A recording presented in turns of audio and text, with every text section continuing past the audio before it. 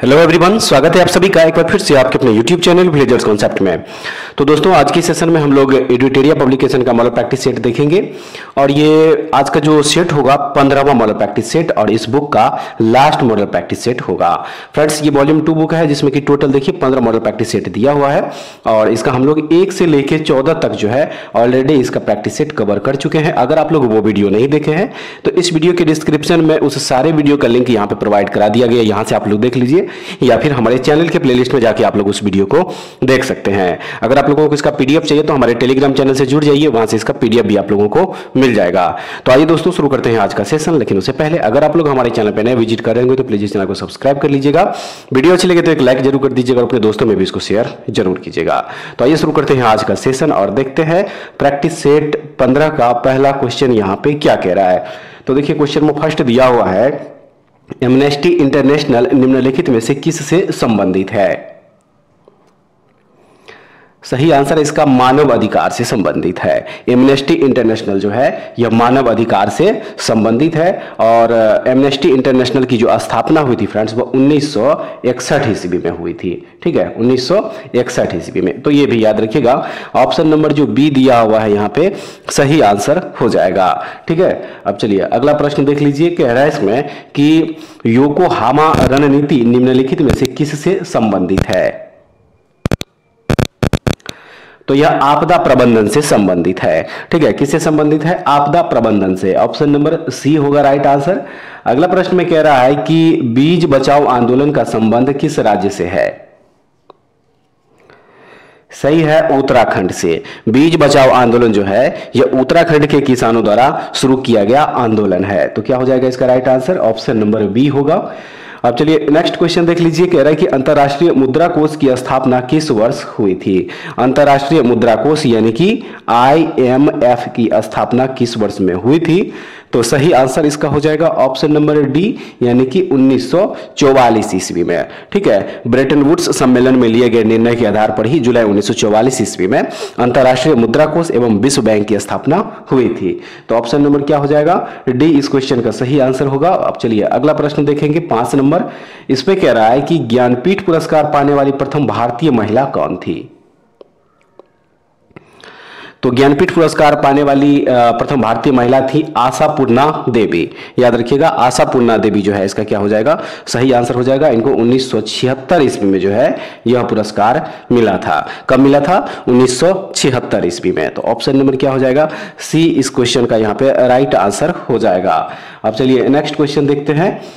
मुद्रा अवमूल्यन का परिणाम होता है। मुद्रा अवमूल्यन का परिणाम क्या होता है? तो सही आंसर है इसका, निर्यात में वृद्धि होता है और भुगतान संतुलन में सुधार। तो क्या हो जाएगा? ऑप्शन नंबर बी हो जाएगा राइट आंसर। उसके बाद अगला प्रश्न है सर्व शिक्षा अभियान के तहत केंद्र और राज्यों के मध्य वित्तीय व्यवस्था को किस अनुपात में विभाजित किया गया है? राइट right आंसर इसका हो जाएगा, देखिए 60 40 यानी कि 60 परसेंट जो है केंद्र सरकार, जबकि 40 परसेंट जो है यह राज्य सरकार, यानी कि स्टेट गवर्नमेंट के द्वारा जो है दिया जाता है। तो ऑप्शन नंबर ए इस क्वेश्चन का यहाँ पे सही आंसर हो जाएगा। जबकि पूर्वोत्तर राज्यों के लिए जो है 90 रेशियो 10 का जो है ये रखा गया है, ठीक है? तो ऑप्शन नंबर यहाँ पे क्या हो जाएगा? ए इसका सही आंसर होगा। उसके बाद जो अगला प्रश्न दिया हुआ इसमें कह रहा है कि न्यूनतम समर्थन मूल्य की घोषणा कब की जाती है? तो यह फ़सल की बुआई से पहले ही जो है घोषित कर दी जाती है। ऑप्शन नंबर ए याद रखिएगा, इसका राइट आंसर होगा। अगला प्रश्न में कह रहा है कि बैंकिंग लोकपाल योजना की शुरुआत कब की गई? सही है, जून उन्नीस सौ पंचानवे ईस्वी में। ठीक है, बैंकिंग लोकपाल की शुरुआत जो है, जून उन्नीस सौ पंचानवे ईस्वी में की गई। इस योजना में बैंकिंग से संबंधित ग्राहकों की शिकायतों को सुनने और उसके समाधान के लिए शुरू की गई थी। तो ऑप्शन नंबर क्या हो जाएगा? सी हो जाएगा इसका राइट आंसर अब चलिए अगला प्रश्न देख लीजिए, कह रहा है कि भारतीय उच्चायुक्त के पद का किस अधिनियम से सृजन हुआ? तो चलिए पहले इसका ऑप्शन देख लीजिए। चार ऑप्शन दिया हुआ है और सही आंसर इसका हो जाएगा ऑप्शन नंबर बी यानी कि भारत सरकार अधिनियम 1919 के तहत हुआ था। तो क्या हो जाएगा? ऑप्शन नंबर बी हो जाएगा राइट आंसर चलिए नेक्स्ट क्वेश्चन देखते हैं। निम्नलिखित में से भारतीय संविधान के किस संशोधन द्वारा अनुच्छेद उन्नीस एक के सी में सहकारी समितियाँ शब्द जोड़ा गया? तो ये जोड़ा गया था संतानवेवा संशोधन अधिनियम 2011 के तहत। याद रखिएगा ऑप्शन नंबर जो डी दिया हुआ फ्रेंड्स यहाँ पे सही आंसर हो जाएगा। अब चलिए अगला क्वेश्चन देख लीजिए क्वेश्चन नंबर 12 और इसमें कह रहा है, केंद्रीय सतर्कता आयोग का कार्यकाल होता है। केंद्रीय सतर्कता आयोग का कार्यकाल क्या है? तो सही है, चार वर्ष या पैंसठ वर्ष की आयु तक, जो भी पूरा हो जाए। तो क्या हो जाएगा इसका? ऑप्शन नंबर डी हो जाएगा, सही। आइए अब देखते हैं अगला प्रश्न। कह रहे इसमें कि निम्नलिखित में से कौन से मूल अधिकार हैं जो केवल भारतीय नागरिकों को प्राप्त है? राइट right आंसर इसका हो जाएगा देखिए अनुच्छेद 15, 16, 19, 29 और 30 ठीक है? ऑप्शन नंबर क्या हो जाएगा? सी हो जाएगा इस क्वेश्चन का यहाँ पे राइट आंसर नेक्स्ट क्वेश्चन देख लीजिए दिया हुआ है इसमें कि केंद्र सरकार में उच्चतम नागरिक सेवा अधिकारी कौन होता है? तो इसमें जो मंत्रिमंडल के जो सचिव होते हैं, वह नागरिक सेवा अधिकारी, उच्चतम नागरिक सेवा अधिकारी होते हैं, याद रखिएगा। बी हो जाएगा इसका सही आंसर। उसके बाद जो नेक्स्ट क्वेश्चन दिया इसमें कह रहा है कि किस संविधान संशोधन के अंतर्गत राष्ट्रीय आपात स्थिति लागू करने के लिए आंतरिक अशांति के स्थान पर सशस्त्र विद्रोह का आधार रखा गया था? तो यह रखा गया था चौवालीसवां संविधान संशोधन 1978 के तहत। ए हो जाएगा राइट आंसर फ्रेंड्स चलिए नेक्स्ट क्वेश्चन देखते हैं। इसमें सभी राज्यों के लिए उच्च न्यायालय की व्यवस्था होगी। संविधान के किस अनुच्छेद में वर्णित है? ऐसा संविधान के किस अनुच्छेद में वर्णित है कि सभी राज्यों के लिए उच्च न्यायालय की व्यवस्था होगी? तो याद रखिएगा, इसका वर्णन किया गया है अनुच्छेद 214 में। ठीक है? किसमें? अनुच्छेद 214 के तहत। तो ऑप्शन नंबर यहाँ पे जो बीज दिया हुआ है, देखिए सही हो जाएगा। अब चलिए अगला क्वेश्चन देख लीजिए फ्रेंड सत्रह नंबर में कह रहा है कि गंगा की सहायक नदियाँ जो नीचे वर्णित है, इनमें से कौन सी नदी उत्तर की ओर प्रवाहित होती है? तो वह नदी है सोन नदी ठीक है? सोन नदी जो है, यह उत्तर की ओर प्रवाहित होने वाली नदी है। ऑप्शन नंबर सी इस क्वेश्चन का सही आंसर होगा। अब चलिए फ्रेंड्स देखते हैं नेक्स्ट क्वेश्चन दिया हुआ है नेशनल रिमोट सेंसिंग एजेंसी कहाँ स्थित है? सही है, हैदराबाद में ठीक है? नेशनल रिमोट सेंसिंग सेंटर जो है, कहाँ पे स्थित है? हैदराबाद में स्थित है ये। ऑप्शन नंबर जो बी दिया हुआ है, सही हो जाएगा। नेक्स्ट क्वेश्चन है कि म्यांमार के साथ भारत के कितने राज्यों की साझी सीमा है? म्यांमार जो देश है, उसके साथ भारत के कितने राज्यों की साझी सीमा है? तो सही आंसर है इसमें देखिए टोटल भारत के चार राज्यों की सीमा जो है, साझा होता है। पहला अरुणाचल प्रदेश है, दूसरा नागालैंड, तीसरा मणिपुर और चौथा मिजोरम है। म्यांमार जो है भारत के साथ लगभग सोलह किलोमीटर की जो है लंबी सीमा साझा करता है। सोलह तैतालीस किलोमीटर, याद रखिएगा, ठीक है? तो ऑप्शन नंबर जो सी दिया हुआ है, यहाँ पे सही आंसर हो जाएगा। अब देखेंगे नेक्स्ट क्वेश्चन जो दिया हुआ है, इसमें क्या कह रहा है? कह रहा है कि निम्नलिखित में कौन सुमेलित नहीं है? पर्वत दर्रा दिया हुआ है, दूसरी तरफ़ जो है, उससे संबंधित राज्य है, और कह रहा है कि इसमें से कौन सही सुमेलित नहीं है? तो ऑप्शन नंबर सी में जो यहाँ पे देखिए, नाथुला दर्रा दिया हुआ है, ठीक है? नाथुला दर्रा जो दिया हुआ है, और ये मेघालय जो है, ये मेघालय नहीं। नाथुला दर्रा जो है फ्रेंड्स यह सिक्किम में स्थित है, ठीक है? कहाँ पे स्थित है ये? तो ये सिक्किम में स्थित है। तो इसलिए ऑप्शन नंबर जो सी है, इसका सही हो जाएगा। अब चलिए अगला प्रश्न देख लीजिए, कह रहा है कि निम्नलिखित में से कौन सी एक नदी पश्चिम की ओर बहने वाली नदी नहीं है? तो यहाँ जो ताम्र पर्णी नदी दिया हुआ है, यह पश्चिम की ओर बहने वाली नदी नहीं है। याद रखिएगा ऑप्शन नंबर क्या हो जाएगा? डी इसका सही आंसर हो जाएगा। ठीक है फ्रेंड्स चलिए, अगला क्वेश्चन देख लीजिए। क्वेश्चन नंबर बाईस में कह रहा है कि निम्नलिखित कथनों में से कौन सही नहीं है? निम्नलिखित कथनों में से कौन सही नहीं है? तो इसका जो ऑप्शन नंबर डी दिया हुआ है कि काली मिट्टी हिमालय क्षेत्र में पाई जाती है, यह कथन जो है सही नहीं होगा। ठीक है, काली मिट्टी जो है हिमालय क्षेत्र में नहीं पाई जाती है, बल्कि यह मुख्यतः महाराष्ट्र, कर्नाटक, गुजरात और मध्य प्रदेश में पाई जाती है। ठीक है तो ऑप्शन नंबर यहाँ पे क्या हो जाएगा? डी हो जाएगा सही। अब अगला प्रश्न में कह रहा है कि भारत के निम्नलिखित में से किस राज्य में सर्वाधिक वन आच्छादित क्षेत्र है? तो यह है मध्य प्रदेश में। ठीक है, याद रखिएगा मध्य प्रदेश में। ऑप्शन नंबर क्या हो जाएगा? सी हो जाएगा इसका सही आंसर उसके बाद, परमाणु में कक्षों को भरने का क्रम नियंत्रित होता है किसके द्वारा? परमाणु में कक्षों को भरने का क्रम नियंत्रित होता है किसके द्वारा? तो यह होता है हाइजेनबर्ग के अनिश्चितता के सिद्धांत के द्वारा फ्रेंड्स ऑप्शन नंबर बी हो जाएगा इसका राइट आंसर उसके बाद नेक्स्ट क्वेश्चन कह रहा है कि पीतल इनमें से किसका मिश्रण है? पीतल इनमें से किसका मिश्रण है? तो सही है 30 प्रतिशत जस्ता और 70 प्रतिशत तांबा का मिश्रण है पीतल। ऑप्शन नंबर बी जो है, सही हो जाएगा। नेक्स्ट है कि जल अपघटन में ऊर्जा किस रूप में उत्पन्न होती है? जल अपघटन में ऊर्जा किस रूप में उत्पन्न होती है? सही आंसर है इसका उष्मा के रूप में उत्पन्न होती है। ऑप्शन नंबर बी हो जाएगा। सही, अब चलिए अगला प्रश्न देखेंगे। प्रश्न नंबर 27 और देखिए इस क्वेश्चन में कह रहा है कि खीरे को काटकर यदि नमक डाला जाता है तो निम्न में से किसके कारण पानी निकलता है? सही है परासरण के कारण। ठीक है परासरण के कारण जो है, खीरे को अगर काटकर उसमें नमक डाला जाता है तो पानी निकलना शुरू हो जाता है। तो ऑप्शन नंबर सी इस क्वेश्चन का राइट आंसर होगा। अगला प्रश्न है कि ऑक्सीजन के बाद सबसे अधिक उपलब्ध कौन सा मूल तत्व है? तो वह है सिलिकॉन। ठीक है, सिलिकॉन इसका राइट आंसर होगा ऑप्शन नंबर ए नेक्स्ट दिया हुआ है कि पारे का साधारणतया तापमापी यंत्रों में उपयोग किया जाता है क्योंकि इसकी विशेषता है। सही है, उच्च उष्मीय प्रसार, यानी कि जो ऑप्शन नंबर सी दिया हुआ है, सही हो जाएगा। अब नेक्स्ट क्वेश्चन देखेंगे। तीस नंबर क्वेश्चन दिया हुआ है। देखिए, कह रहा है कि निम्नलिखित कथनों पर विचार कीजिए, कठोर जल उपयुक्त नहीं है। इनमें से कौन कौन से कथन सही है? तो ऑप्शन नंबर डी एक, दो, तीन, चार, यानी सभी कथन जो है क्या है? सही है। सभी कथन इसका सही हो जाएगा, ठीक है? अब चलिए, अगला प्रश्न देखेंगे। इकतीस नंबर में कह रहा है कि वनस्पति तेल से वनस्पति घी बनाने में प्रयुक्त होने वाली गैस कौन सी है? तो वह गैस है hydrogen gas. Option number A हो जाएगा। अगला प्रश्न में है कि निम्नलिखित में से कौन सी एक वायुमंडल में अस्थायी गैस है? तो वायुमंडल में जो अस्थायी गैस है, वह है नाइट्रोजन। ऑप्शन नंबर सी, इसका राइट आंसर होगा। अगला प्रश्न जो दिया हुआ फ्रेंड्स, कह रहा है कि फूलों के अध्ययन को कहते हैं। फूलों के अध्ययन को क्या कहा जाता है? तो याद रखिएगा, फूलों के अध्ययन को एंथोलॉजी कहा जाता है, ठीक है? क्या हो जाएगा इसका right answer option number B हो जाएगा सही। अब चलिए अगला प्रश्न देखेंगे। इसमें है कि अधिकांश कीट श्वसन कैसे करते हैं? अधिकांश कीट श्वसन कैसे करते हैं? तो राइट आंसर इसका हो जाएगा वातक तंत्र से। किससे करता है? वातक तंत्र से करता है। तो ऑप्शन नंबर जो डी दिया हुआ है, सही होगा। अब चलिए अगला प्रश्न देखेंगे। कह रहा है कि पौधे के कौन से भाग से हल्दी प्राप्त होती है? पौधे के कौन से भाग से हल्दी प्राप्त होती है? तो याद रखिएगा, तना जो है स्टेम इसी से प्राप्त होता है। ऑप्शन नंबर बी होगा।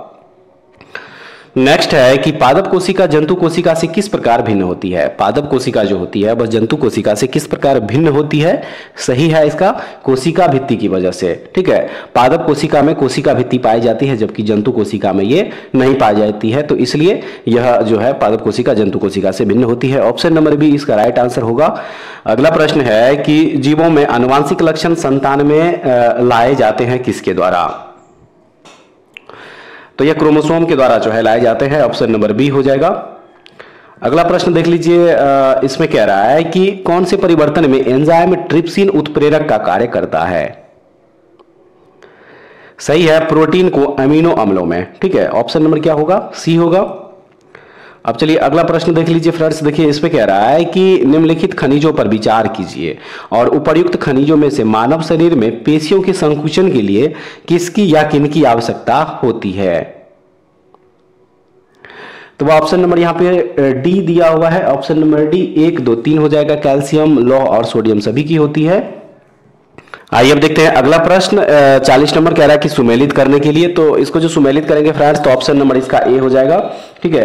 ए का थ्री हो जाएगा, उसके बाद जाके बी का फोर बी का फोर सी का हो जाएगा टू प्रोड्यूसर गैस जो है, उसके बाद वाटर गैस जो है, क्या हो जाएगा? ऑप्शन नंबर एक हो जाएगा। तो ऑप्शन नंबर ए इस क्वेश्चन का यहाँ पे करेक्ट आंसर है। चलिए अगला प्रश्न देख लीजिए। प्रश्न नंबर इकतालीस में कह रहा है कि निम्नलिखित में से किसकी उपस्थिति के कारण दूध में मिठास आ जाती है? किसकी उपस्थिति के कारण? तो यह होती है लैक्टोज की उपस्थिति के कारण। याद रखिएगा, ऑप्शन नंबर बी हो जाएगा सही आंसर। अगला प्रश्न में है कि पौधों द्वारा ली गई विकिरण ऊर्जा निम्न परिणाम देती है। पौधों द्वारा ली गई विकिरण ऊर्जा निम्न परिणाम देती है। तो सही है इसका। जल का प्रकाश अपघटन परिणाम देगी। ऑप्शन नंबर ए हो जाएगा सही। अगला प्रश्न है कि दाब की इकाई क्या है? दाब की इकाई पूछा जा रहा है तो दाब की इकाई जो है न्यूटन पर वर्ग मीटर होता है, ऑप्शन नंबर ए हो जाएगा। नेक्स्ट क्वेश्चन है, रमन प्रभाव का प्रकाश की उन किरणों से संबंध है जो आर पार जाती है। जो आर पार जाती है, सही है इसका? सभी पारदर्शी माध्यम के। तो ऑप्शन नंबर जो डी दिया हुआ है, इसका सही होगा। अगला प्रश्न है, रात के समय में खुले आकाश में तारों के टिमटिमाने को किस से समझाया जा सकता है? तो इसका ऑप्शन देख लीजिए।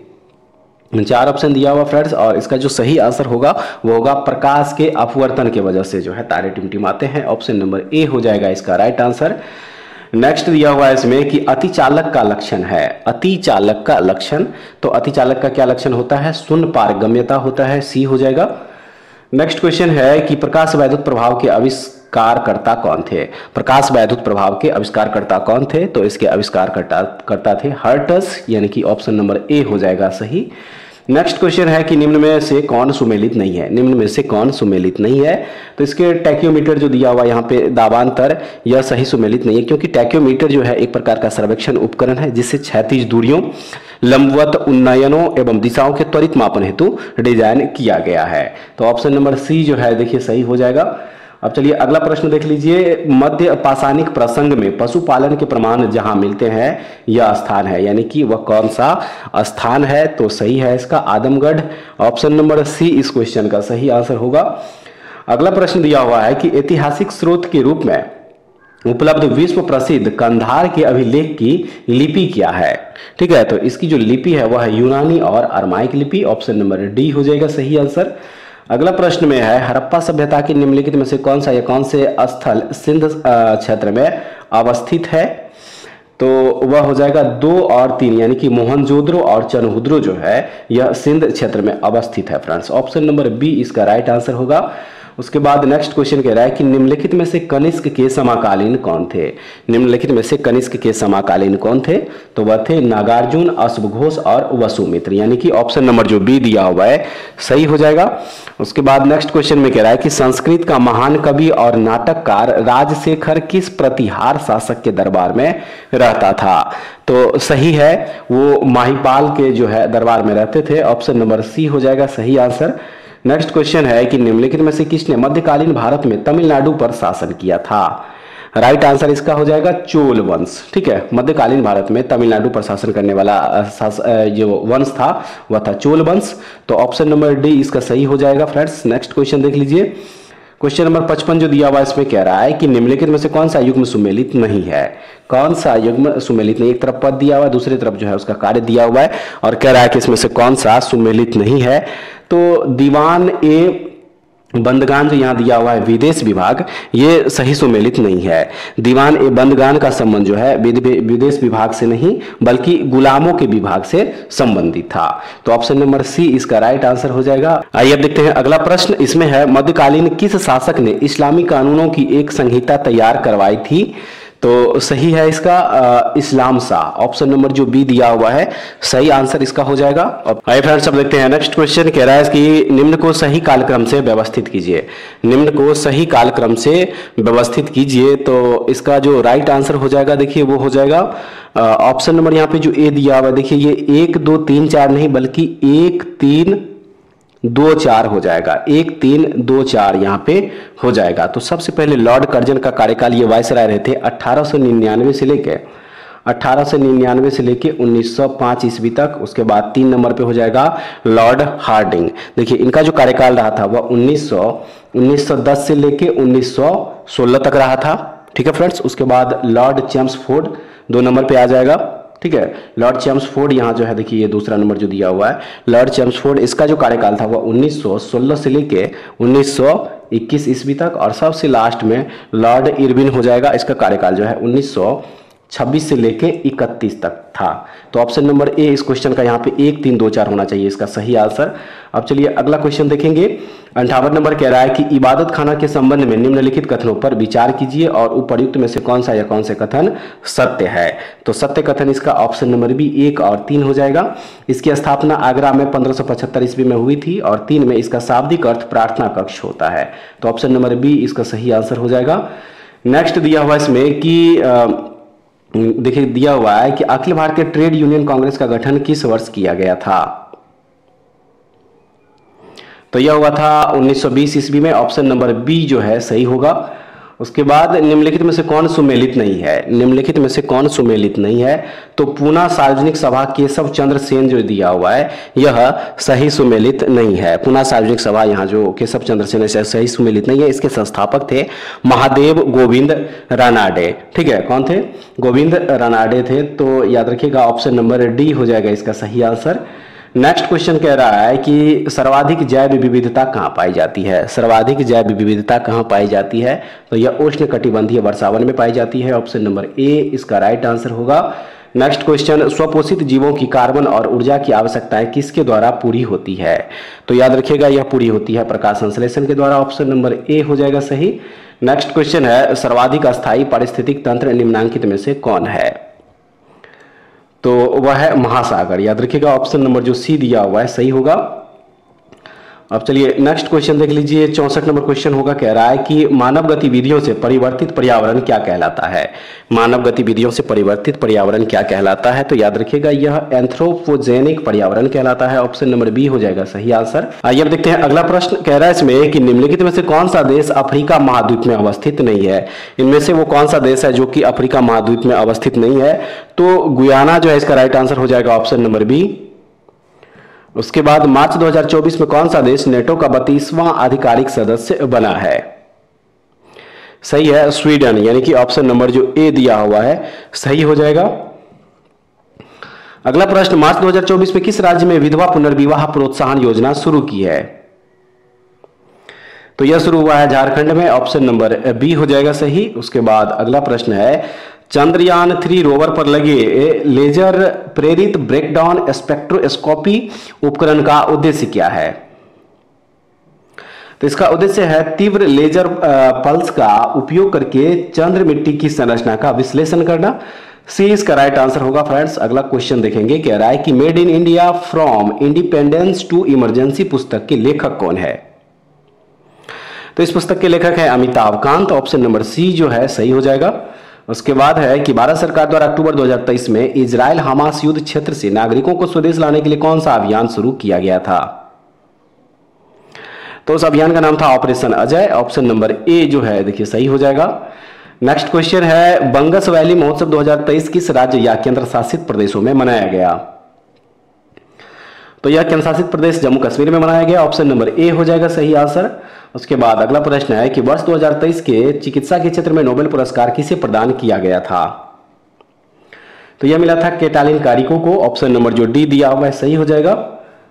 अगला प्रश्न देखेंगे। तिहत्तर नंबर में कह रहा है कि हाल ही में इंडस एक्स शिखर सम्मेलन का आयोजन कहाँ किया गया? सही है नई दिल्ली ऑप्शन नंबर ए इसका राइट आंसर होगा। अगला प्रश्न देख लीजिए प्रवासी पक्षियों के लिए कोप फोर्टीन की मेजबानी कौन करेगा? सही है उज्बेकिस्तान ऑप्शन नंबर डी हो जाएगा सही आंसर उसके बाद उस आ, लास्ट क्वेश्चन देख लीजिए कह रहा है कि हाल ही में पुरुषों के अंडर 19 विश्व कप क्रिकेट का विजेता कौन सा देश बना? सही है ऑस्ट्रेलिया। ऑप्शन नंबर जो बी दिया हुआ फ्रेंड्स सही आंसर हो जाएगा।